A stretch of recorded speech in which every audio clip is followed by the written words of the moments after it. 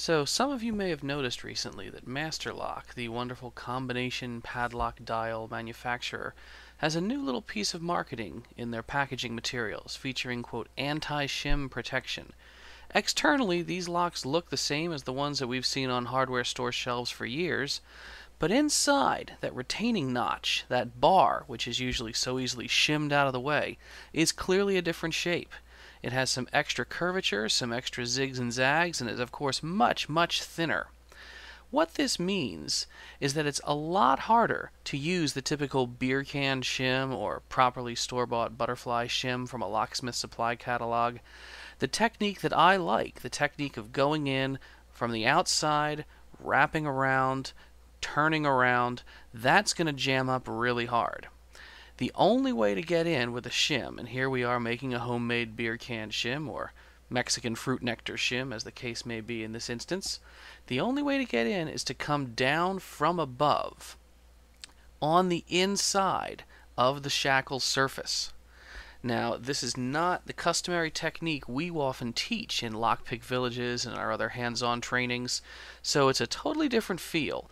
But if you can craft a pretty decent shim, if you make it strong, make it out of nice proper metal, and if you wiggle the shackle up and down, the idea is to get the shim to keep nestling more and more deep with each downward wiggle of the shackle.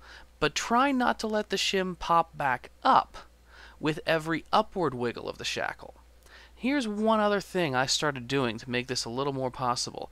The very tip of the shim, I would crunch over into a little bit of a curve. Now, that's of course the last thing you usually want to do. You don't want your shim all crumpled up. And when you slap it back here, that crumple is going to kind of go away. But the, the seed has been planted. And if you keep trying to twist it in, don't twist side to side too much. It's really it's an up down up down. You can't see very well around my hands here, but there you go. It got sunk in. It was able to get that bar out of the way.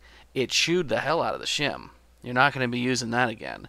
Uh, in the past, of course, you guys may have seen that you can shim some of these locks open and the shim is ready to go again for another attempt. Not the case with an anti-shim padlock. It really is a harder mechanism to defeat, but ultimately still just a spring-loaded latch catch. This is not a double ball padlock. This is not what I would call a shim-proof padlock, but it was harder. And I'm not going to lie, as you can see there, it was not my first attempt that actually got the lock open. I'm not trying to look cooler than I am. And here, just to prove it to you, I mean, this is footage of what I tried first. It took me a while of experimenting, trying to really figure out how far in do I have to press before I start trying to wiggle, whether or not there should be any turning involved.